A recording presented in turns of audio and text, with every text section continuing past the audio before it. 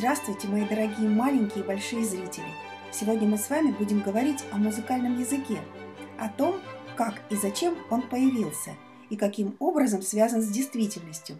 Цикл небольших познавательных видео о музыке поможет вам услышать этот язык, научиться различать стили и направления, а также понять, почему музыка изменяется. Постараемся дать музыке возможность говорить самой за себя и сделать так, чтобы музыка оставалась с вами и после завершения разговора о ней. Что же такое музыка? Чтобы ответить на этот вопрос, надо ответить на другой вопрос, более важный и общий. Для чего человек живет? В чем смысл человеческого существования? Каждый из нас по-своему видит свое предназначение, но, наверное, есть одно общее – использовать наше пребывание здесь, на Земле, для того, чтобы духовно вырасти. Это означает, что музыка должна помочь человеку духовно измениться, возвыситься над самим собой. Почему музыка обладает сильным влиянием? Почему она зачастую оказывает на человека большее воздействие, чем наша речь? Зачем люди придумали музыку? Природа человеческого тяготения к музыке трудно поддается объяснению – с появлением нейробиологии и освоением новых технологий ученые смогли наблюдать за изменениями в нашем мозгу, в то время как мы слушаем или сочиняем музыку, или просто представляем ее себе. Это, конечно, создает базу для новых удивительных открытий. Ну а мы с вами попытаемся сделать свои открытия.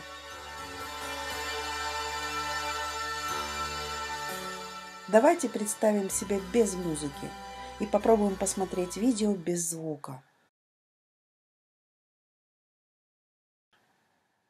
Согласитесь, без музыки никак не обойтись. Она оказывает действие, подчиняя себе все, и никто не в состоянии объяснить, что это. Не слушать, а слышать. Только так можно попытаться осознать ее истинный смысл. Хорошая музыка сегодня не лежит снаружи, ею нужно интересоваться – Основная задача музыки и искусства в целом – это дарить радость, а не развлекать. Про это тоже забыли, а многие и не знали. Музыка, как в целом и другие виды искусства, существует только потому, что мир не устроен, он не благополучен, несовершенен. Если бы мир был прекрасен и гармоничен, никакого искусства не нужно было бы. Человек не искал бы гармонии в чем-то нематериальном, он бы жил гармонично, и этого было бы вполне достаточно. В поисках гармонии, в поисках смысла, который выражается в гармонических соотношениях между людьми, между искусством и жизнью, между временем и историей, человек обращается к искусству. Музыка – самый мощный по воздействию вид искусства, поэтому музыка нужна учителям, чтобы воспитывать в учениках чувство прекрасного – Музыка нужна деятелям других видов искусства, чтобы вдохновляться. Музыка нужна режиссерам, чтобы с ее помощью подчеркнуть особенности состояния героев.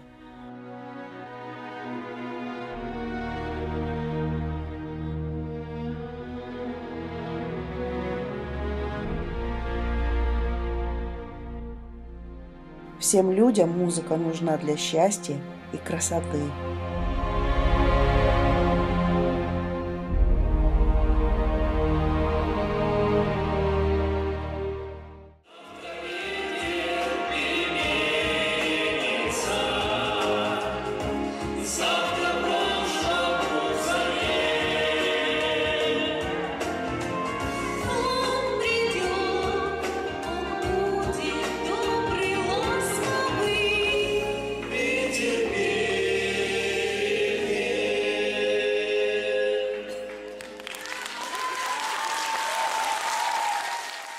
Музыка составляет истинную сущность театрального представления.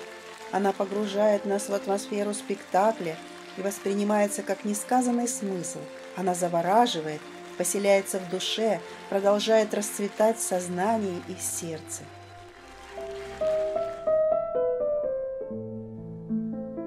О чем хочет сказать нам музыка, если в ней нет слов? А если есть, то зачем она этим словам понадобилась? Почему она сопутствует нам во многих важных эпизодах нашей собственной жизни? И что мы можем узнать из музыки о жизни других людей, как наших современников, так и тех, кто жил много лет назад?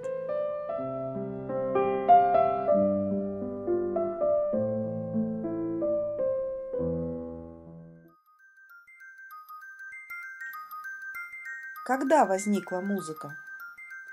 Этот вопрос давно волнует людей, и об этом было сложено немало легенд. Ученые предполагают, что музыка появилась еще в первобытном обществе.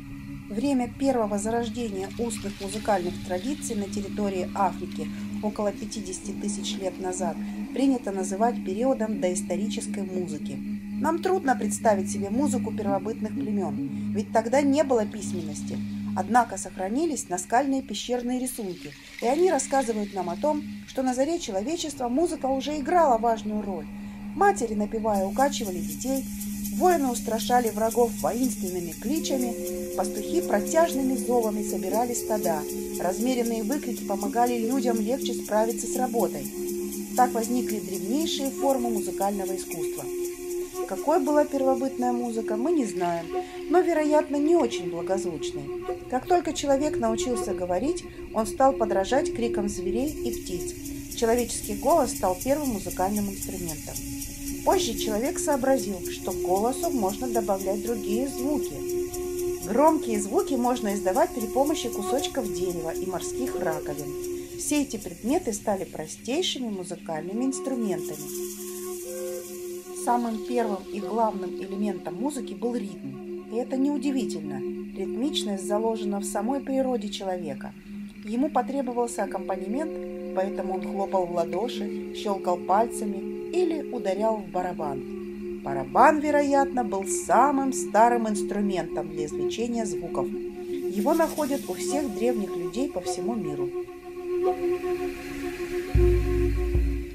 Самыми древними духовыми инструментами, созданными человеком, были свистки и тростниковые трубки. Свистки делали из кости, дерева и глины. Они стали прообразами флейты. Вслед за этим появились струнные инструменты. Но об этом и многом другом я вам расскажу в следующем выпуске. Он будет посвящен музыке первых цивилизаций.